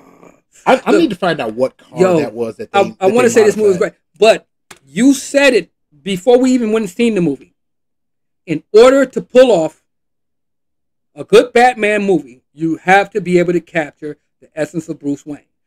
But we've spoken about this. This movie was not about Bruce Wayne. This movie was not about Bruce Wayne. This is why it's called The Batman. This was movie was about the Batman trying to solve a crime. In the beginning, he tells you, I don't care Mhm. about my family's legacy. I don't care about my name. I just want to stop this killer. Mhm. Okay. So going forward, we need to really test Patton, Pattinson's acting. Well, I know he can act. I mean, Water for Elephants was a great movie. I, I Yeah. loved it. Uh, but we need to see Bruce Wayne show up. When Bruce Wayne shows up, then I'm gonna say to myself, this movie is better or this movie is not as good. I need to see Bruce Wayne. I need to see that charming philanthropist, billionaire, playboy, you know, who's so carefree and reckless with his money that there's no way in any universe that this guy is Batman. So that means you have to introduce Lucas Fox. I think we seen Lucius Fox. There was a I don't know if it was Lucius Fox, but there was a black guy in the background. He was hanging real close to Gordon. I'm like, is that Lucius Fox? They didn't really show his outfit, so I don't know if he was a cop or just you know just a black man they threw in there for you know For uh, color sake, for, for color commentary, right? Um, I don't oh yeah, hold because you can't you can't really have him being Bruce Wayne without Lucius Fox. Because even the animated series tells you that while he's out there being Bruce Wayne, there's somebody helping him take care of the car. you need a There's, team. there's somebody out there taking care of making gadgets who introduces, you know, people into a circle like, hey, Mhm. I know Batman wouldn't hang around this dude, but Bruce Wayne needs to hang around this guy. You Yeah. may be able to glean information that may help you later on. I mean, because Um, Batman is Batman's gonna be who he is. That's Mhm. one thing. That's, you know, you can't take that away from him. But everybody knows, in order to be successful, you need a good team behind you. You can't just go out there on your own. say, I'm gonna be successful on my own because, like he said before, I can't be everywhere. Mhm. Okay, you need a good team. You need Gordon. You need Barbara Gordon. You need uh Tim Drake or Dick Grayson. You need uh Damon Wayans. You you need an Alfred uh uh Pennyworth. You need um um Lucius Fox. You need Selina Kyle. You need a team. Mhm. Without your team, you don't have Batman. You know, you get this one role guy who's out there got to shoot venom in his leg to keep surviving. You know what I'm saying? Otherwise, you know what I'm saying, you just get a pathetic figure out there trying to solve crimes on his own. He can't solve crimes without the help of Jim Gordon. Mhm. You know, which Jeffrey Wright, I, I, I love Jeffrey Wright and a lot of things that he's done. He was the man in Hunger Games. I really loved him. I didn't think he made such a, a, a great Gordon. And, and, and possibly, this is this is possibly why I say this. Because this movie truly only focused on a handful of characters. Mhm. Now, while Gordon did pop up multiple times, his role was not as significant as uh, John Turturro's role or uh, Colin Farrell's role or um, um, so, uh, Zoe Kravitz. He had a smaller role, so he didn't really get to really shine. Because, like at the end of the movie, when he saves the mayor's life, that was really all you seen of him. That was that was it. That was his I'm glad- last saving I'm- grace. I'm glad he's. I understand what you're saying that he played basically the background, but Yeah, I, he's the background character. but I think the ver- this version of Jim Gordon, not because it's Jeffrey Wright, but I think this, I would say this era version of Jim Gordon, he's not, he still doesn't have, um, what's the word I'm looking for? He still doesn't have that. I'm not gonna say edge. I want to say he doesn't have that self awareness to where he's willing to be the guy out front. Because even so, go back to No, no, Ben McKenzie had that. That's the one thing about I loved about Gotham. I love Ben McKenzie. Yeah, but see, here's the thing though. Everybody likes the Nolan movies. Jim Gordon wasn't out front. Jim mm-hmm. Gordon took charge once he became Yeah, but he was he went from but that was he also went Gary from the patrol Oldman. Yeah, but see, That that's what I'm Gary- saying. that was Gary Oldman. I think I, that's what I'm saying. I think Jeffrey Wright is channeling Gary Oldman in this case. He went. He's in that area. He's in that space where at the beginning of him being at Gary Oldman being uh, Jim Gordon, he's um he's the guy sipping the coffee, and this dude and his partner is getting the bribe money, literally right there in front of him. and he's like, he's like, "What's the matter, Yeah. Jim? You don't want to taste?" He was like, "Nah, man, I ain't, I ain't about that." he he's he's playing the background, right? Yeah. And they was like, "Hey, man, you know, people, you don't take a taste," and people start to thinking he's like, "You gonna snitch on him?" He's like, "Who the "Fuck, I'm gonna tell." He's like, "Everybody's getting it, but me. Who am I gonna tell on?" It was like nobody, everybody's getting paid except me. I like, I ain't got nobody to tell. This is the space that Jeffrey Wright is in. So you, he can't be the one you think that he ought to be. He has to. He's in the similar headspace that Robert Pattinson's Bruce Wayne is in. Mm. I have nobody to go to. I'm not really worried. I'm just worried about getting through the day. I don't particularly give give a shit about this version of me versus this other version of me. The only version of Jeffrey Wright's um, Jim Gordon that he's worried about is the one that's keeping the wolves at bay from going after Batman because he understands that this guy may be weird. This guy may be a vigilante. He said, uh, "You're the only person I trust, and I don't even know You your know his name. I don't even right? know. He's like he's like you're the only guy I can trust because you are doing just like me. You understand that everybody is crooked to some level. and Batman told him the same thing when he said that uh, um, that the killer is not after you because you're not corrupt. And that's the point. These two guys are literally in the same headspace. So I think this version of Jim Gordon, he should be in the background until, like, because remember, Gary Oldman goes from his version of Jim Gordon goes from street cop to lieutenant to Commissioner Gordon in the span of two movies. So here we are at the beginning again with Jeffrey Wright playing Jim Gordon. We should see him go from he now he's lieutenant right now, which is somewhere in between, you know, street cop and you know the the top guy. He's kind of in the middle. So I think if if what we believe is correct and they do a trilogy of movies, Matt Reeves has proven he should at least get another movie. Mm, at least. I should I would say by the end if they do a trilogy by the end of the second movie, he's commissioner. Like And then him- you like to see him get- do something. Then you get him out front. I mean, think about it. This version of Jim Gordon has the bat signal in a hidden location, right? Yeah. Everybody hates Batman except him. He understands that you all hate him because he's a vigilante. When really, let's be for real, he you all hate him because he makes y'all look bad. He's doing your job.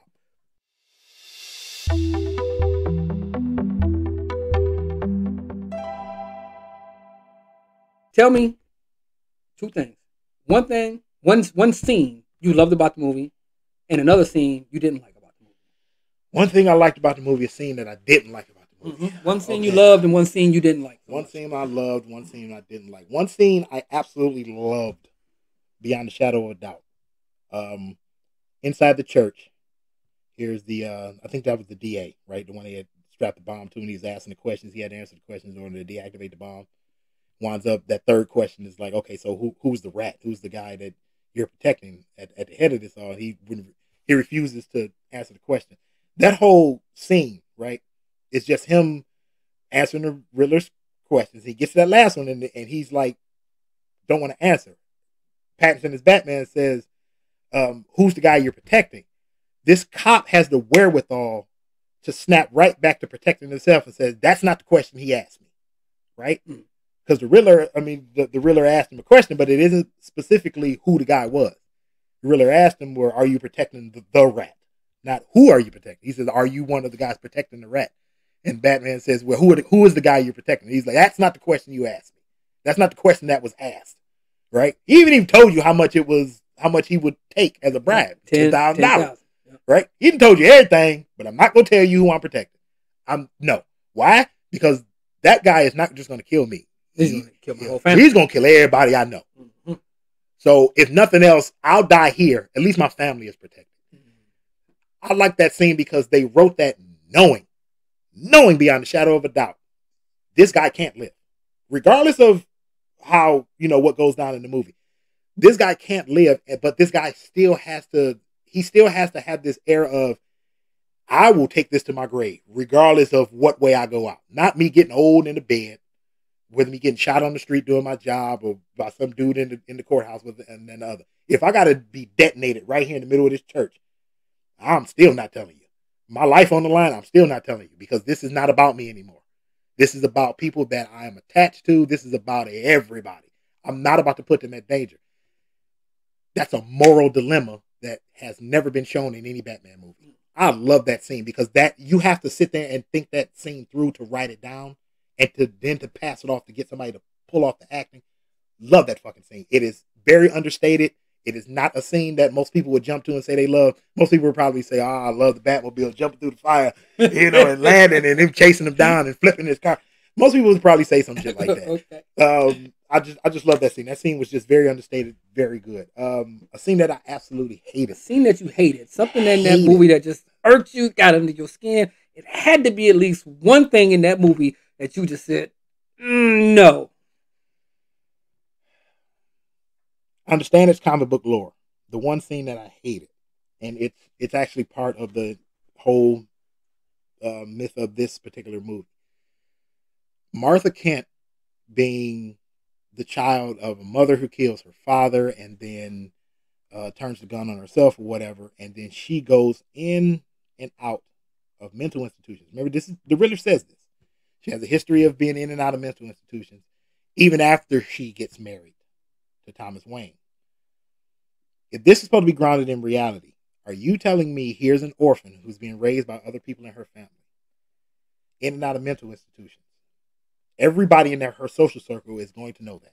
This is not a secret that can be kept. Mm-hmm. Period. Rich people don't keep secrets like this. It gets out. Right?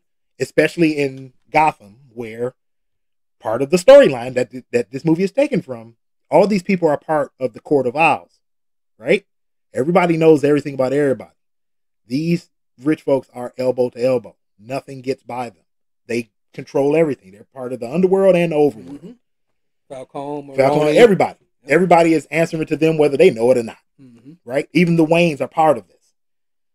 So you're telling me that she's been in and out of mental institutions after mom kills dad and then kills herself. But Thomas Wayne still gets to marry her. Which is a how? Explain to me how they let that rock. How they pass that. How they pass that off. It's like, mm, no. I understand that's in the comic book. That's one of the comic book storylines. Maybe not main continuity, but it's in the it's in the storyline. It's in the comic book. But even in the comic books, it always it always it, it always ranks so very, you know, so very thin. There's no way in the world Thomas Wayne would have married. They would his his family would have allowed him yeah to marry Martha Arkham. Not even, not for, even love. for, love. I understand that both their families have a vastly a shitload of money. Because remember, he gives a billion with a B. A billion. For the renewal fund. Yeah, as he, he donated that. He donated that. Like he's like, oh, I just write a check for that. That's cool. How much money you got? you just throwing out a billion, cuz. So right, so I like at that part. I was like, eh, there's not much I didn't. It's not. It's only I didn't hate nothing about the movie, mm-hmm. but that part bugged me. I was like, that just don't sound right. Even in the comic book, when I read it, I was like, that doesn't. That I like that's hollow, bro. They would not have let him marry her if she's been in and out of mental institutions, right? Right. Because rich folks are very protective yeah, of very their bloodline. They're, they're, very, very tight knit. They would have found somebody else, to, you know, because they they try to do the uh, uh, arranged marriage. Arranged marriage. They, they would definitely would not arrange um, Thomas mm-hmm. to, to marry a psychopath. Not at all. So I was like, man, I was like, all right, I'm, I'm just gonna let it ride because it's not the comic book, and I'm not about to argue with people about it. At least it's comic book accurate, right? right. Really, can't nobody argue with it. It ain't not the comic book. That's comic book accurate. Just if you don't like it, be mad at yourself. So yeah, those two, I did like I said, I didn't particularly hate nothing about the movie. I didn't hate that. It, it, just like in the comic book when I read it, I was like, eh, that don't seem right, but whatever. I'll just let it go. All I know is y'all got married, y'all had Bruce, and y'all got whacked in the alley. So right, it's, it is what it is. Um, Alright, so, so what did you? I, I same got question. You answered. right. So check this out. What I loved about the movie, what I hated about the movie. There was two, two, um, two things I love, two things I hate. I'm gonna keep it brief. The first thing I loved about the movie was when the car came jumping up through the told you. Everybody loves that shit. Yo, I mean, I'm not hating on it. Exciting! It was so exciting, but it wasn't even just the car jumping up through the fire. It was actually when the when the penguin rolled over and then Robert Pattinson comes, He comes walking up. up. Yeah, He and- just and- and leans the, the- down. The, frame was inverted. It was upside down, and he and he leans down. And he's like, you don't know if he's looking or if he's not looking. Also, the camera pans on his eyeball, and he's like looking right at you. I'm like, oh, it was just a chills up my spine. Yo, loved it. Um, then uh, one of the other parts I love, and I would have to mention this, otherwise my wife would actually kill me. When he was on top of the police station, and the suit blew up, and he jumped off. Oh, the squirrel suit, Yeah, the flying squirrel suit. But it was such because he's such a new Batman. He's new at this. His life was in mortal danger. He crashed and burned. He boy. crashed so hard, and he rolled. It just was so terrible. And he got up and he limped away. I said that that scene was just so awesome. But doesn't it? But and and I would have said that if if the whole you know the whole understated scene in the in the uh, church wasn't wasn't better for me. But that kind of speaks to the whole movie, and this is why I was like his version of Bruce Wayne is perfect. It it fits the narrative of the story. It's he he's so new to everything. Mm. He doesn't know nothing. Yeah. It's it's he is so green at on, at even the tools that let me tell he's using. He's so damn green. He doesn't know you, how listen. to rightfully use them. So I listened to the podcast, and like I told you before, I did not see the image of him and Zoe Kravitz on the red carpet until you mentioned it. Mhm. And in the middle of your podcast, I stopped the podcast. I went, I Googled the image of Robert Pattinson with uh, with Zoe Kravitz on this red carpet, and I seen this suit he was wearing, and it was like two sizes too big for him. It was like ruffled at the, the pants, that the, the the the leg, okay, the uh the the, the hands or the arms of the, of the suit were coming way past his knuckle. It looked like around his neck, if he would have caught a good gust of wind, He was floated gone. away. I mean, it was just a terrible looking suit. So then I go back to the podcast, and the first thing I hear you say is that he looked like he put on his father's suit. I just started rolling. Now, I said it to say this. After watching the movie, I go back and I look at that same image, and I be damn, it fit him. the suit fits. It fit the Bruce Wayne character. It was odd. The suit fit the character. I said, "This is crazy." That was just the oddest thing. Um, but okay, back to what I hated. I hated two things about the movie. One, how quickly the police seemed to forget that he stuck Jim Gordon in the jaw and ran out the back door. Because the next scene you see, he's just like walking through the crowd with uh, Falcone like nothing ever happened. Mhm. And I'm like, they did they forget he a fugitive? Yeah. And then, and, and then, um, well, past that, because I mean, that, that was just one of those things that's just like, okay, I don't know how they forgot he was a fugitive.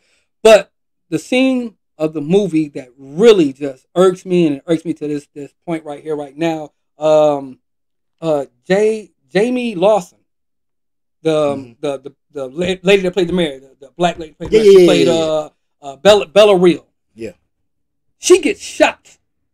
Oh, okay. I know exactly what you're about to say. Go ahead. I know She exactly gets shot at the end of the movie. The movie. Yep. I mean, her life was on the on the edge. She's bleeding out. Not. And then, oh my God, there was another thing I didn't like. But there was so many things at, at the, the end of this movie that just bothered me. Like uh, why Batman didn't use his batarang to chop the cable instead he got to jump in, grab it, and cut it and look all. Okay, never mind. Um, let me get back to the point. So, um, the scaffolding falls in on the survivors in this flood Mhm. and Batman goes down there, and apparently no one's strong enough to get the scaffolding off these people. So Batman comes over there and he lifts the scaffolding off and Starts he pulling people out. his hands out, and people start coming out. Okay, now this mayor uh, Bella Real, who has been shot and mortally wounded, now all of a sudden she shows no signs of agony, no signs that she's been shot at all. She's just treading through the water. And I said, well, whatever. Where's where's Where'd her you get shot acting? at? Yeah, where, where's you? Where's your acting go? You're supposed to be shot, mortally wounded. He need to be carrying you out of here. Yeah, but instead, it's not like she got. It's not like she got shot in the leg. She literally falls back and grabs her side. Yeah, like a like her abdomen. She was messed up, and because Jim had she couldn't get up and walk because Jim had to pull her. Had to back, drag her out of there. Right. So she just walked out of there through the water like nothing. Not happened. even that she walked out through the water. She's giving a speech at the end on top of the on top of the arena. I saw that and I was like, okay, I'm just gonna, I'm just gonna suspend Just- relief gonna- just let, let that, that little bit. I'm just gonna let go. Well, it was a flesh Uh, wound. yeah, I maybe, maybe they, maybe she jumped out of the way. It looked like she jumped out of the way. Maybe she kind of leaned out of the way, or the dude missed. Whatever, but whatever, whatever. Like it's one of them things I saw. it I was was a like, clean yeah, wound, in and out, you know? okay. I was like, ah, It was couldn't. okay. The movie couldn't have been perfect. I mean, well, there's no, No, perfect mo- movie. We movie wasn't perfect. I've never seen a movie that was perfect. No. You know, I've seen movies that were damn good. And I've seen movies that were damn terrible. Uh, this movie was a damn good movie. Movie, yeah. it It was. wasn't It, was great, but it was it perfect? No. I mean, it's, it's got some flaws, but like I said, it's it's still in its infancy. You know, it's it's still got a little bit of growing up to do, and I'm looking forward to um uh, Reeves' uh, sophomore um sophomore project Yeah. with the Batman. So the the only thing about the movie that I didn't I didn't like, or should, I'm not gonna say I didn't like it, but one thing about it that irked me was there was a lot of unnecessary exposition. It was a lot of unnecessary talking. the talking. between characters. I'm not saying that the exposition was bad. Mm. It was well written. I'm not saying that it didn't help in some way. It was just a whole lot of it that if you took it out, it wouldn't detract from the movie. No. Then the movie didn't need to be just shy of three hours. It probably would have been like two hours and fifteen minutes. So you know, you know. but, so but I'm okay with it. I'm, I'm not going to shit on the movie for it. I'm, I'm, especially as a guy who's a writer, I enjoy exposition. But overall, it was like, hey, we don't need to have this conversation. We don't need to have this conversation. Just keep the movie going. It was too. I would say it was it was too much of it to the point that it was chopping the pacing of the movie. yeah, up. yeah, it was. There was this part in the movie where Selina Kyle pulls out her phone Mhm. and it's uh, a recording of her friend's untimely death. And it was just a lot of talking, just like uh, my eyes start getting heavy, and next thing I know, my wife is shrugging me like, "Wake up," because it was just unnecessary talking. But then I go and see the movie a second time, Mhm. and then I listen to that conversation of that woman on the phone. And although it may have been long and really did chop up the pacing of the movie, it was intense. Yeah, It was brutal That what happened on the phone. that was. I didn't fall. I didn't start to nod off. I didn't nod off at all during either sitting. But the one part that really dragged me was the the whole conversation with Paul Dano with the Riddler at the end when they they got him in Arkham. I thought it was too long. yeah. There was nothing wrong with it, but I thought I was like, you probably could have took two or three minutes out of that, and it would still would have been fine. Um, but yeah, that sequence where they're where she's listening to Annika get killed, and then I, what was it, Gordon? He's like, oh God, he's he's he's strangling the poor girl, Mhm. and he, but they're still listening to it. I was like, woo. And this is goes back to what we both said earlier. There has never been this much brutality in a Batman movie, ever. Nothing even close. La- actually, the animated series was more brutal than any of the other movies, but it still wasn't as brutal as this. This movie was wow, Yeah, the movie did it. Yeah, man. There was so much brutality in this movie, and I but I appreciate it. I appreciate it 100. percent Like I said on the last episode, this is a nine out of a ten movie with me. Uh, it isn't perfect by no stretch of the imagination. There are flaws to it, but they're minute flaws that I can overlook. Right? They're, definitely. they're, they're small flaws that I can be like, eh, More Joe Chill, please. I don't want more Joe Chill. no more Joe Chill. I'm, I'm, I was I was happy you pointed it out, and I'm okay with Joe Chill, but I don't want no more Joe Chill. Uh, I mean, and hell, if you're gonna add somebody to the movie, who would they add to the movie that I could that I could get behind? That I could that I, I was like, yeah, it, it would make them up. Probably Lucius Fox. That'd probably be the only person they can add. I I'm want to like, see Dick Grayson. Come on. Not so soon though. I, I want to see Dick Grayson. I tell you what, they could bring Dick Grayson in, but have it as the Flying Graysons. Just have a poster up say the Flying Graysons, Gotham Arena, the, the you know the circus has come to town, the Amazing Flying Yeah, Graysons, I mean, and show him on the poster with He, his he parents. doesn't have to be Robin. He could. They can literally get killed at the end of the movie. Yeah, and then and then he then you know like oh hey hey yeah, all we- know what's going to happen. know what's gonna happen, yeah. So I mean that'd be cool. I mean like, like we talked about that before. You don't actually have to stick a character into a movie if you allude to him hard enough. Just like okay, that's enough. That's cool. Like, I don't have to see him. That right there was enough. I roll with that. That's right. You acknowledge them. I know you acknowledge them. Good job. Move on to the next. Yeah, we can do something like that. I'll, I'll take that. Let, But yeah, us let's get the Penguin, maybe Firefly. Let's get Two Face in there. well, Firefly is That's going to be in. Batgirl. It's going to be a Batgirl. I know, but hey, I'm know, looking forward to that because Brendan Fraser. They they showed a video of him. Uh, somebody asked him, "Hey, they uh, he was doing you know press for Batgirl and him playing Firefly," and uh, somebody asked him, he's like, he's like, "What do you think of all the the um the outpouring of love?" It's like now that you're you're basically back in the limelight after such a long layoff. Even after Doom Patrol, he was still kind of on the outside looking in, and Doom Patrol is DC. Um, he's like, now you're basically back in the limelight, and people have been waiting for you to come back. He's like, what do you think about it? He goes to start talking, he can't talk. He's so choked up about it. I'm glad he's back, man. That shit, Yeah. Hollywood is a piece of shit machine sometimes, and they they did him so so dirty. But I'm glad he's back. Um, I'm I can't wait for this next movie. Um, like I said, not perfect. Nine out of ten. I would. I, I might go see this a third time. yeah, I'm- I gotta go see it again. I don't know if I, I don't know if I'm going to to pay to go see it because there's so many different movies that's coming out. And you know me, I'm at the theater almost every other week. But um, yo, yo, definitely, it, it is definitely on my list of things that I need to watch at Do you- least one time. Do you think after, after everything's said and done, it does Spider-Man No Way Home money? No. Because right now it's it's like I said, it's like 350, 360. Something, and I know before the weekend is over, it'll be over 400 mil, which puts it over a bunch of other movies. Yeah, Like Eternals is 402 million. it's, As it's- much as everybody wanted to dog the movie out, this it was a good, it was a good, decent movie. It's 402 million. This is by no far a flop. This is gonna blow past that. But is it gonna do 1.86 billion? No, no, because everybody. I mean, as as good as this movie is, it's missing. It's missing one element that Marvel has capitalized on, and that is the alternate universe. You know what I'm saying? If this movie did that, if this movie brought in uh uh, uh Michael Keaton and it brought in uh who else? Uh, Christian Bale. Let's just leave it at them two. Right. if it brought in Michael Keaton and Christian Bale, then yeah, I can see this doing numbers like that. But that's the one thing that You- that No Way Home just crushed it, bringing in. Uh, many people were moved by uh, Gar- portrayal. Garfield, I said it. Garfield, Andrew Garfield made me cry. Garfield, Garfield killed it. I have to admit it. Garfield killed it, but it was Maguire that made me want to see the movie. I love Maguire. I Yeah, I love I Bully. Spider Man. I did love. Bully Spider Man. And it, those, though that movie right there, no, I don't think the Batman is going to reach that number. No. Okay, so the next movie down, as far as money wise, uh, pandemic era is um, uh, uh, 007, No Time to Die. I still ain't watched that. That's 775 million. I have still not watched It was I- I have not made it past the point where he was at the the grave site. by far, by far, that is Daniel Craig's best outing as James Bond. By far. So if you haven't seen it, please do yourself a favor and watch it. I'm still in the middle of Peacemaker right now. Uh, Freedom! Oh no, bro! Look. oh my god! I talked about Peacemaker. If if you haven't heard that episode, go back a few episodes.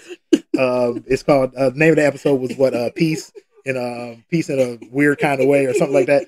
Uh, Peacemaker was I like that. something Uh, else. a whole new world. Yeah, I. Uh, I tell you what the best part of Peacemaker was. Side note from from the whole Batman talk. The best part of Peacemaker was the music in that show.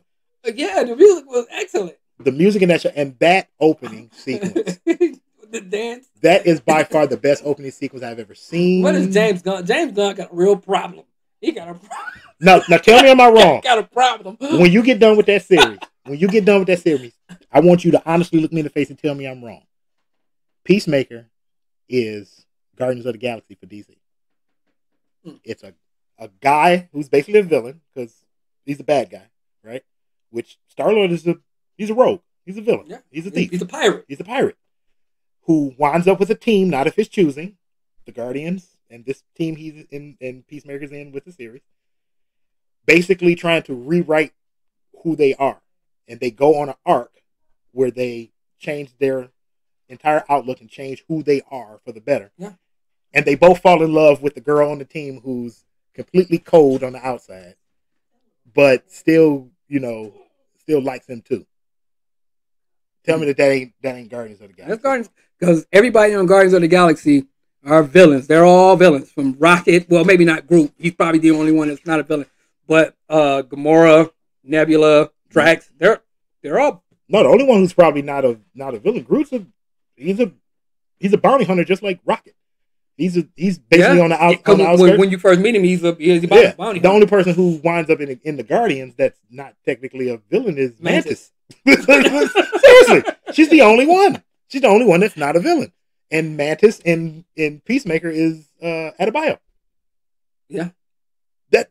James Gunn really went over to DC and was like, ah, fuck it, I, I know what I know what y'all like because I've done it already. We about to do it with this, and nobody saw it coming. Peacemaker is just Guardians of the Galaxy, but with DC characters. That's all it is, and I'm not mad because that shit is fantastic. Yo, Peacemaker. So I wasn't watching it, and you put me up on it, and now I can't wait to go home and finish watching another episode. Ash, please, I'm gonna Please watch another episode right now. please watch it. All right, Freedom. all right, let's get out of here. I want to thank everybody. Will, thank you very much. I know it was kind of last minute. I asked you to come and do this with me, and I appreciate it, man. Um, You know, the, you know, the, the wolf pack is always here, man. yeah, all You know, we roll like that. Yeah, I'm I'm so glad you're here. I can't wait for uh just the next thing, man. Please come back. Like always, uh, you know, you you you don't even have to say, "Hey, do you want me?" Just just say, "Hey, I saw this. Did you see it?" Yeah. All right, cool. We're gonna talk about it. Yeah, because I I the vault is always open. Yo, I'm still waiting to do that Howard the Duck episode. Oh God, I totally forgot about the Howard the Duck episode. We'll get we'll, we'll get to that. That's that'll come up. We'll because we do need to do that. We do need to recast Howard the Duck so they can make the movie for it. Yo, Uh, your so- ideal for Howard the Duck. I'm telling you, somebody need to pick your brain. We're gonna get to that. But your Yeah. ideal for Howard the Duck. I'm telling you, it's gonna be good. Look, I'm So- leave it at that. So yeah, so until next time, I am Jake Alexander. You know, this is Will. Um, please tune in again for the next episode, and we get out of here the same way we do every episode. God bless. I love you, and peace.